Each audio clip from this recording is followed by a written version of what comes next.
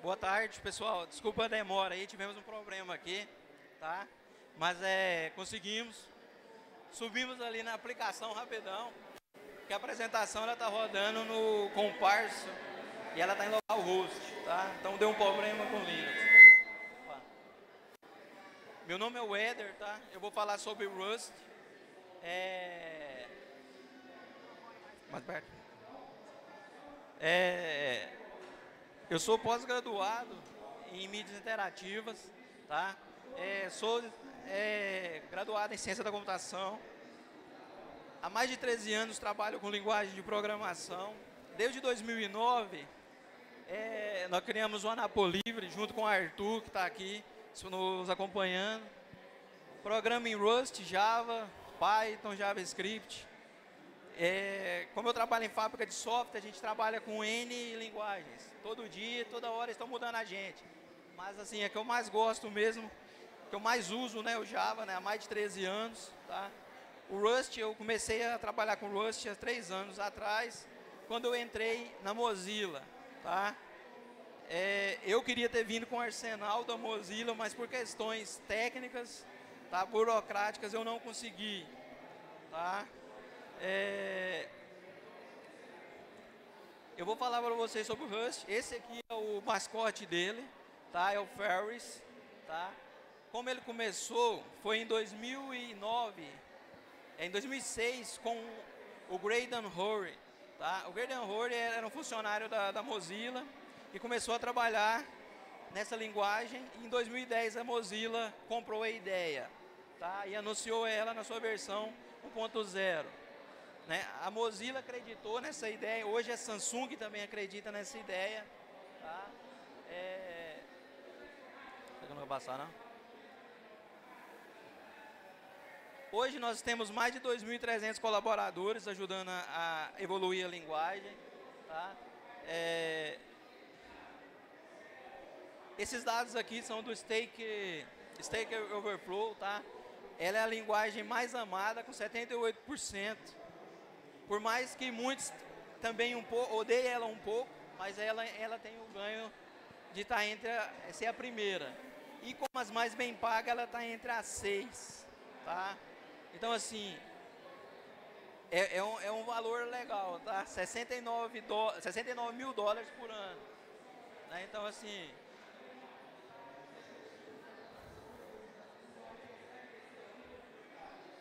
Pagou?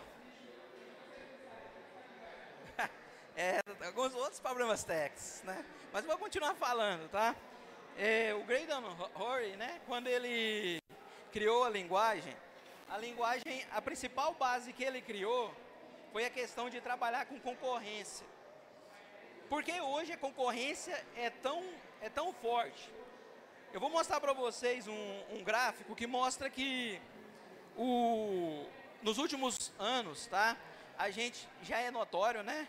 Vocês notam que não aumenta a velocidade do processador, do núcleo, só está aumentando a quantidade de núcleo. Então, se lingu as linguagens não se adaptarem a isso, tá? nós vamos ter um gargalo. Porque é, nós vamos ter o quê? É, linguagens muito rápidas, muito fortes, mas o não tem processamento. E atualmente a gente a gente a gente vê que no, no panorama geral, né? O, a programação em si, eles estão tentando fazer mecanismo, pra, vamos dizer assim, para... É, eu falo que é tipo contornar. Hoje nós temos linguagens que faz o quê? É, algoritmos que faz o quê? Coloca quatro, cinco máquinas e faz logicamente a, dizer, achar que é só uma. Pegar vários processadores e achar que é só um processador. Então hoje tem N algoritmos que fazem isso, tá? E isso é legal? É. Mas para o paralelismo em si, o núcleo físico é melhor, tá?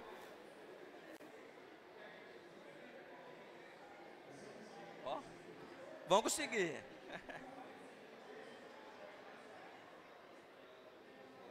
Mas vai conseguir.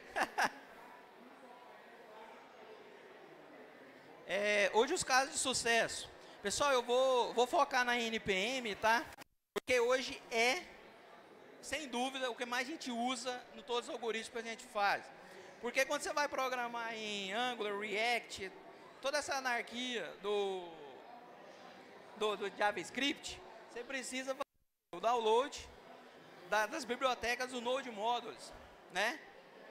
E a NPM, por causa da quantidade de downloads que é feito por dia, criou um registro interno com paralelismo usando o Rust.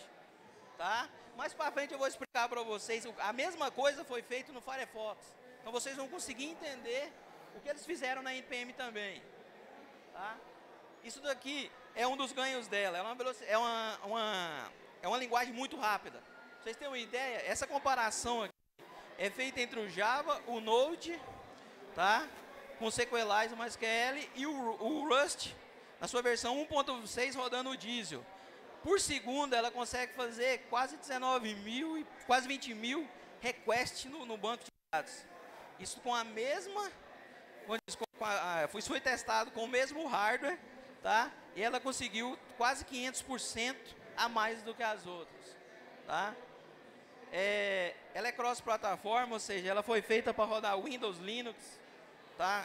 Em celulares, Android, é toa que a Samsung já começou a dar uma olhadinha nela, tá? A Apple amou muito mais ainda, que ela fez uma coisa mais louca ainda. É, ela é multiparadigma. O que é esse multiparadigma? É, eu coloquei ali só é, o que é um multiparadigma. Você pode programar estruturadamente, imperativa, funcional. Ela tem um pouco de orientação a objeto, mas ela não é 100% orientada a objeto tá? Mas ela consegue fazer um, um, um mecanismo, tá? Aqui é aquilo que eu falei para vocês, o número de cores está crescendo, mas a, o, a frequência do processador não está aumentando, tá? Por isso que a população concorrente é tão forte. E o Rust é muito bom nisso, porque ele é thread não bloqueante, ele consegue fazer muita coisa legal.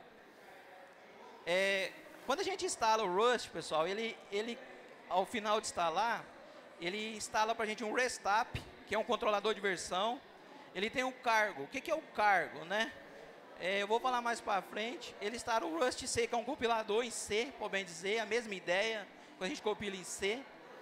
É, o Rust Doc. O Rust Doc é, um, é uma documentação que ele gera automática, tá? Tipo Java Doc mesmo. E e o Rust GBDD lá. Mas o importante ali é o cargo, tá? Aqui nós temos o Kratos. O que é o Kratos? O Kratos é o NPM dele. É onde ficam os repositórios, tá? Traduzindo essa palavra para o português, seria um cesto grande, né, do inglês. Então é um cesto grande que vai colocando as bibliotecas ali dentro. E quando a gente usa o cargo, tá? O cargo é nada mais, nada menos que o YARN ou INPM. Ele dá o INPM install lá, ele desce com as bibliotecas tudinho para o Node Modos. O CAR faz a mesma ideia, tá? Ele pega do CRATS e desce para o seu, seu arquivo de configuração dele, que é o, no caso é o target.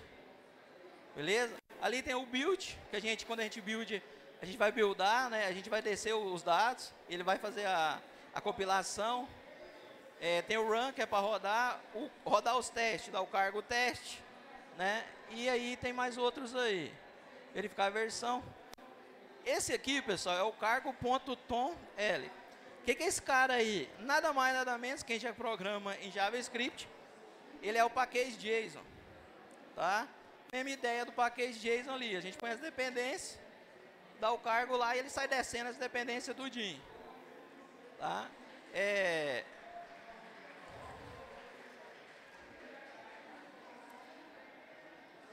Pessoal, é, isso daqui tá, tá na página da, da, do Rust, tá? É como criar, gerar um projeto, tá? Hoje nós estamos numa era que você não inicializa o projeto do zero. Dá muito trabalho. A gente tem as bibliotecas CLI, que a gente chama. Angular CLI, Vue CLI. Que a gente solta ela lá e já cria o projeto base.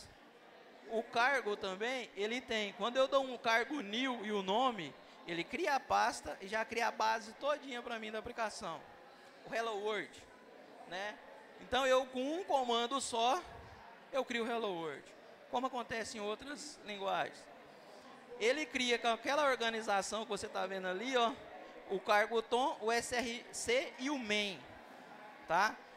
O main, pessoal, lá dentro tem que ter uma função main que inicializa tudo. Como o, o C, né? C puro. E dele vai startando todas, tá? A gente dá o cargo run, ele desce todas as aplicações que tem para rodar essa aplicação e dá o hello world. Ou seja, você dá dois comandos, você está com a aplicação rodando. Tá? É... Aquele desenho ali, ó, é o desenho do cargo, tá? Acho bonitinho ele, é bem invocadinho. A ideia quase essa ideia. Pessoal, mas por que essa linguagem está é, tá, tá começando a ser tão difundida? Justamente pela segurança dela. E ela começa a fazer segurança com aquele cara ali, que é o ownership. O que, que é o ownership? Eu no começo dei um trabalho lascado para me entender esse cara, mas eu fui trabalhando com ela e fui vendo que não era tão complicado. É como se você, naquele momento ali, você é o dono de, um, de alguma coisa, presente, vamos dizer. E naquele momento ali, você pegou o presente e deu ele para alguém. O presente é seu? Não, o presente agora é de alguém. Nesse momento, o que que você, o que que o, o Rust faz? Ele não deixa aquela variável s que não tem presente, mas ter validade. Isso aqui, se fosse em C, passaria. E você tentasse acessar o S depois que ele jogou os dados, poderia dar um erro de memória lá, porque não tem nada lá. Tá? Mas isso, nós estamos falando de uma variável é, que tem o RIP. O que, é um RIP? Quando a gente faz uma variável do lado de cá, notando que aquela variável, ela recebe o número 42. 42 é um número, um inteiro, né? A gente sabe que o inteiro, o processador sabe quantas casas ele tem que alocar lá. Naquele outro lá, eu estou dando um new, um string, eu estou como se estivesse fazendo um new lá no, no, na memória e abrindo um heap. O que, que, é um heap? Um heap ele tem o, o, o, ele pega um tamanho da memória e fala, ó, ele tem tamanho 10, mas tem capacidade para 20. Então, naquele momento, a linguagem questiona. Nesse momento aqui, não. Como ela sabe o tamanho exato, ela cria uma cópia. E eu posso usar as duas. Tá? É como se tivesse um presente e ele duplicou e o presente pode ficar lá. Tá sendo usado. Naquele caso ali, não. Nesse caso, como se eu quisesse usar essa variável? Tá? Pessoal, o, ele tem um que a gente chama é, borrow e lifetimes. O que, que é o borrow? O borrow é como se você estivesse fazendo o quê? Emprestando algo. Tá? Então ele empresta. Naquele momento ali que ele empresta, ele fala, ó, você pode copiar. Ou seja, você empresta para a pessoa e fala o que, que ela pode fazer com aquilo lá. Tá? Nesse caso aqui, eu ainda empresto e ainda falo, ó, você pode mexer nisso aí. Aí é quando eu uso uma variável mutable. Porque naquele caso ali, eu impresso e falo, você não pode mudar isso aí, você tem que ser desse jeito. A linguagem questiona isso, tá? E ali, no caso, é o mute, que é o quê? É o ponteiro. Sabe quando a gente dá ponteiro no C? É o ponteiro. Eu falo, ó, eu te empresto, te dou um ponteiro. Por quê? Você pode usar ela e fazer o que você quiser. Como se tivesse uma cópia entregada para ele. Tá? E aquele... E aqui você vê o, o, o ciclo de vida, tá? Que essas barrinhas que está aqui igual do GitHub, é o que a gente, é o que a gente chama de lifetime. É o, é o ciclo de vida, né, da variável. Beleza? É, pessoal, aqui, quando o Firefox Quantum chegou, ele pegou e colocou o Rust lá dentro. Tirou o C++, né, o C++, não todo, tá? Tirou só uma parte e colocou acho que é 69 mil linhas de Rust lá dentro. Tirou 160 e poucos mil de C++. E ele aumentou a velocidade em duas vezes. Tá? Aqui nós temos a, é, o que eu trouxe esse slide, tá? Com a questão do Nightly Beta Stable. É como o Firefox é, é, é criado. Se você quiser baixar a versão Night, ela está na versão 71, seu Firefox da máquina está 79 tá? A versão Night lá tem todas as melhorias que está fazendo. E o símbolo dela é aquele lá. A versão beta tem aquele beta lá e a versão stable. Quando você trabalha com a versão developer, é aquele azulzinho lá. Aquela ali é a versão nova, a Focus, que é focada em é, privacidade. A Mozilla está pegando pesado tá, em privacidade. Por quê? O Google está fazendo o contrário. Então, tipo assim, como é que eu vou concorrer com ele? Vamos na contramão. Tá? Aí nós temos a versão que é a nova logo. Essa logo começou a ser nesse mês, tá? Essa nova logo ali. E por isso, agora o Firefox tem essas logos. Nota que mudou o do developer, do Night e do beta. Não mudou do stable, tá? Mas o developer mudou a, as logos. Ela é diferente na questão da bolinha ser menor e a raposa ser diferente um pouquinho, tá? Então você vai ver, é, se estivesse no meu notebook ali, você veja a versão Night rodando, com aquela logo lá. É, aqui, pessoal, nós temos o Rust Servo. O Servo foi a mudança que foi feita para tirar o código C do Firefox, tá? Hoje já, né, já, já, já é interno. Primeiro eu tinha que, saber, eu tinha que fazer uma, é, alguns ajustes e habilitar. Hoje não, já é a versão quanto já vem com ele habilitado, tudo certo. Tá? O que, que é o projeto Quantum, tá? Pessoal, entenda que quando você acessa uma página, o motor, o Firefox ou o Chrome, qualquer um, pega o seu código da página, pega o HTML dela e entra ali naquele flow, naquele motor ali, ó. Quando ele passa, ele tem que questionar o DOM. O que, que é o DOM? A árvore do HTML. Esse está dentro dessa div, está dentro disso, está dentro disso, pegou tal CSS. Quando ele questiona, é o, quanto o CSS vai agir nesse local. Aí ele faz o compositor. O que, que é o compositor? Quando você dá, vai verificar ali o CSS que está embaixo, você está desenvolvendo, você viu que ele tem muito riscado. O que foi clonado, que o pai já usou, né, o, o filho está usando uma coisa que o pai já tem, faz aquela coisa toda. O compositor faz isso. E por último ele entrega o render, que é o quê? O que você está vendo ali na frente. Tá? Aonde o servo entrou nessa história? Tá? O servo arrancou aquele e-mail lá. Ó. Ele entrou dentro do quanto CSS e injetou o código Rust lá dentro. Porém, o código que roda no Flow, que roda no Doom e no Compositor para frente, ainda é C++. Né? Então, é, é uma mudança que eles estão fazendo gradativamente. A ideia é arrancar todo, tá? Aqui, quando antigamente tinha que definir no enable, hoje não precisa mais, tá? É, aqui uma, uma, uma, uma, comparação do servo e do Jekyll. O Jekyll é o que rodava antes, tá? Uma thread, só numa thread, ele é mais rápido do que o, o Jekyll.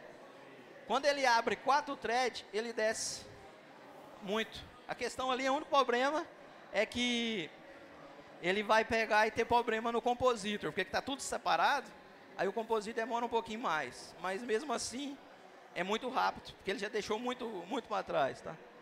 É, nessa época que trocou, tinha 69 bugs abertos do Firefox. Só a troca corrigiu 51.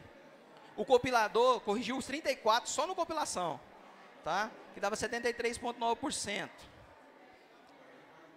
Aqui, pessoal, é, como eu falei para vocês, então por que essa, a gente tem essa importância toda da internet, né?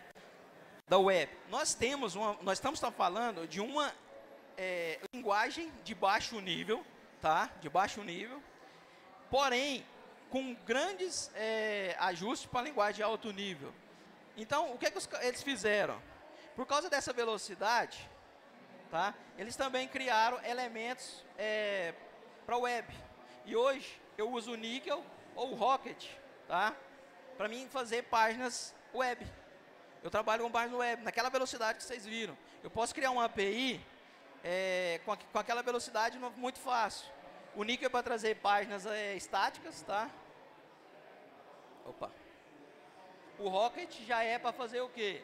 Trazer páginas, é fazer o API, GET, POST, tá? E o WebAssembly. Pessoal, por que o WebAssembly está ficando, está se tornando padrão? Uma ideia, né, padrão. Quando se começou lá atrás, se decidiu pôr o JavaScript, eu colocava o applet. Era uma ideia. Dentro do navegador da Mozilla, que na época tinha outro nome. Tem tanto tempo que eu nem lembro, era um azulzinho. Só porque eles decidiram pôr JavaScript. Hoje não, hoje com o poder de processamento que a gente tem, é, eles, eles não puseram o Apache, né? E hoje colocou o WebAssembly. O WebAssembly funciona com a mesma ideia. O que é o WebAssembly? É, é uma VM, uma, uma, máquina virtual rodando dentro do navegador. Tá? Então, hoje está muito é, em foco essa parte. E o Rust faz esse, esse casamento muito bem e ele consegue interpolar com o JavaScript. Ele não vai retirar o JavaScript. Os dois conseguem trabalhar junto, tá? E usando o paralelismo, tá? E usando o async ainda, o wait, que aí deixa a coisa mais violenta, né? Pensa eu poder trabalhar com paralelismo e startar tudo assim que o wait. Eu starto tudo em camada, né? Ao mesmo tempo. Outra coisa, ele funciona paralelo com o Neon, com o Node, tá? Ele funciona paralelo com o Ruby e ele consegue funcionar paralelo também com o Python usando essas bibliotecas. Tá? Quando eu, pessoal, a facilidade de eu criar uma API, eu vou, é, primeiro ali eu dou um, um, um Rust Default Night, que é o que eu estou trazendo uma, uma versão é, Night, ou seja, em teste, tá? Eu estou nos teste. Eu dou um cargo new lá dentro do, do, da, do tom ponto o ponto tom, eu coloco duas bibliotecas que é o Rocket. Tá? Dessa parte, eu vou ali e coloco um get, tá? Re registro ele, tá? Dou um cargo run, já está rodando lá na porta 8000 o meu arquivo, tá? E eu posso aqui testar, né? E coloquei ali, né? Hello 18 e ele já retornou para minha resposta. Tá? Minha idade está correta, tá? 18 aninhos, tá? É, criando o executável, só dou um cargo builder, o executável está pronto. Tá? É, pessoal, aqui nós temos o Rust Lug, tá? Que é uma, como eu vou falar para vocês, ele é uma, todos o, os FAQ tá nesse local. Se você quiser saber qualquer coisa da linguagem, lá tem, tá? Essa linguagem é muito legal para aquela matéria de estrutura de dados que todo mundo ama na faculdade. Tá? Fazer pilha, fila, lista. Aquela coisa maravilhosa. Ela faz com a... Você fica cabulado, tá? O compilador dela é mais lento que o C, tá? Mas não dá para ser bom em tudo, né? A gente tem que deixar um pouquinho os outros. Tá? Pessoal, eu fui um pouco rápido porque aconteceu uns probleminhas, tá? Mas eu vou abrir para perguntas, porque aí a gente pode bater um papo até mais tranquilo, tá? Hã? A voltar? Eu vou eu vou deixar aqui depois com vocês é, meu e-mail e, e meu e-mail e meu GitHub, tá?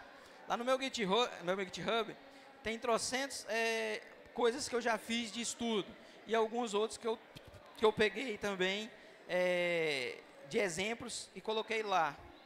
Tá? Que é uma linguagem que eu estudo ela, tá? é diferente. Tá? As outras linguagens, vamos dizer, eu trabalho com ela, essa eu ainda estudo. Aí muita gente pode falar assim, mas Weder, essa linguagem tem futuro? Tem porque ela foi entregue para a comunidade, a comunidade agora começou a trabalhar com ela. Aonde a gente vê que essa linguagem tem futuro? essa semana fez uma pergunta no grupo nosso, tá? É, vou deixar para vocês aqui, tá? É meu e-mail, tá? Eu deixei, é, vocês podem mandar um e-mail para mim. Outra coisa também, a nossa comunidade no, no Telegram. Hoje nós temos 600 e poucas pessoas, Tá? Se você quiser, porque eu poderia deixar trocentos links aqui para vocês, mas não achei legal. Eu achei legal você pegar e é, ir no Telegram, porque o Telegram só digita Rust Brasil, você já vai entrar nessa comunidade. E essa comunidade starta tudo que você precisar para aprender Rust, tá? Tudo, tudo que você precisar tem lá, todo o material. Se você precisar de apoio, a galera tá lá junta, tá? É... Então assim, a pergunta foi feita lá. O Graydon Hoare, que é o cara que criou a linguagem, foi contratado recentemente pela Apple para trabalhar em qual projeto? No Switch. Por que a Apple contrataria o cara para trabalhar direto no Switch? O, gargalo do switch é o que o Rust faz. Em vez de eu pôr o lá dentro, eu trago o cara que fez ela. Né? Então, assim, muitos caras criticaram o, ca o cara, mas eu acho, tipo assim, um cara tá lá na, na, na empresa há tantos anos, tá? E se ele aceitou, ele teve o porquê. Né? Eu acho que julgar não seria o certo. Eu acho que se ele falou assim, não, eu vou, o outro desafio na vida dele, ele pegou e deixou a linguagem, falou, estou deixando, mas estou deixando em boas mãos, os engenheiros que estão lá são competentíssimos, e foi aventurar no outro, no outro projeto. Tá? Então, se vocês quiserem estar com a gente lá, como eu falei para vocês, nós temos 600 e tantos é, usuários lá hoje, prontos para te ajudar, material, exemplo. O Rust segue a ideia do, do que eu falei para vocês, a, da Mozilla, que é o que? Documentação ao extremo. É uma ideia da Mozilla. Pois não?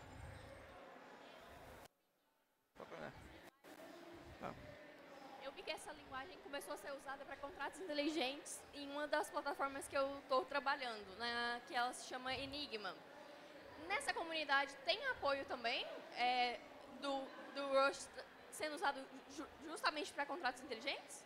Assim, é, igual eu falei para você, as coisas estão acontecendo muito rápido e novo, né? É, se você entrar lá e, e, questionar, a galera vai junto com você e tentar estudar isso também. Tá bom. Tá? Porque é o seguinte, é, a parte de IA, ela está entrando na parte de IA também, está uhum. entrando muito rápido por causa da velocidade e do paralelismo. Sim. Ela, ela consegue ser, é, vamos dizer assim, é, junto com o Python, muito parecida. Então, a linha de aprendizagem das duas é muito parecida. Tá? É, por mais que o Python tenha algumas qualidades, e ela também tem, tá? mas eu, é, hoje, por causa da, da quantidade de dados que nós estamos processando, ela ganharia muito vantagem. Tá? Por não ter thread bloqueante. Tá? Quando ela starta a quantidade de thread não bloqueante, que ela consegue fazer o, o, a, a, o empilhamento dela, é, é, assim, é fantástico você ver. O, quando eles fizeram, um, tipo, o levantamento de como mudou o servo no, no Firefox, que eles mostraram cada elemento, tem uma parte lá que é muito legal, quando ele começa a empilhar toda a árvore Doom, você fez assim e fala assim, cara, só o desenho já fica bonito. Imagine isso é, funcionando, né? É, mais alguma pergunta? Atualmente eu sou desenvolvedor Java, mas eu estou muito interessado em começar a aprender linguagens funcionais.